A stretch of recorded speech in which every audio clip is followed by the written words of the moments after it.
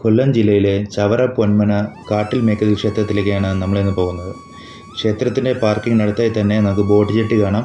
അവിടെ നിന്ന് ബോട്ടിൽ കയറി അക്കരെ എത്തിയാൽ നമുക്ക് ക്ഷേത്ര പരിസരത്തേക്ക് പ്രവേശിക്കാം.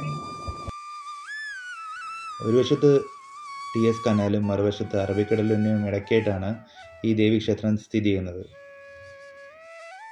ക്ഷേത്ര ട്രസ്റ്റിന്റെ വക ബോട്ട് എല്ലാവർക്കും ഫ്രീ ആയിട്ടാണ് സർവീസ് നടത്തിപ്പോരുന്നത്.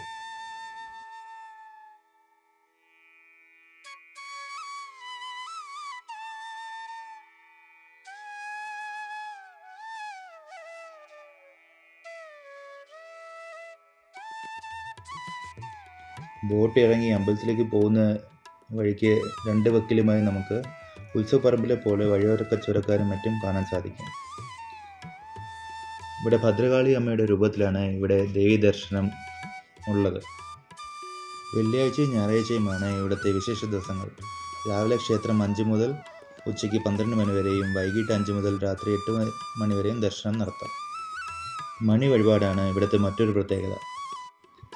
കാട്ടിലമ്മയുടെ അടുക്കലെത്തി ക്ഷേത്രത്തിൽ നിന്നും പൂജിച്ച് വാങ്ങുന്ന മണി കെട്ടിയാൽ ഏതാഗ്രഹവും നടക്കുമെന്നാണ് ഇവിടുത്തെ വിശ്വാസം.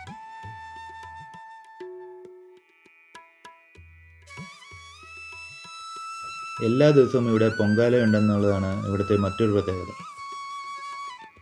കടലിന് തൊട്ടടുത്തായാണ് ക്ഷേത്രം സ്ഥിതി ചെയ്യുന്നത്. ക്ഷേത്രത്തിൽ ദിവസവും അന്നദാനമുണ്ട്. അമ്മയുടെ അനുഗ്രഹം തേടിയെത്തുന്ന ലക്ഷങ്ങൾ അമ്മയുടെ അന്നം കഴിച്ചാണ് മടങ്ങുക. ഇതും ഒരു അനുഗ്രഹമായി ഭക്തർ കാണുന്നു.